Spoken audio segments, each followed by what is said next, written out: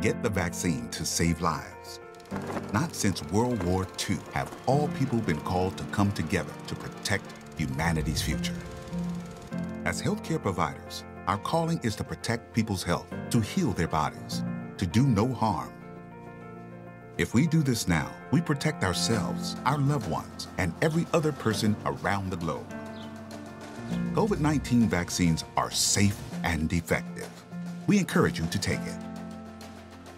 Everyone must make it their calling to overcome the pandemic, to protect the health of their family, their friends, their neighbors. This is our shot to save lives.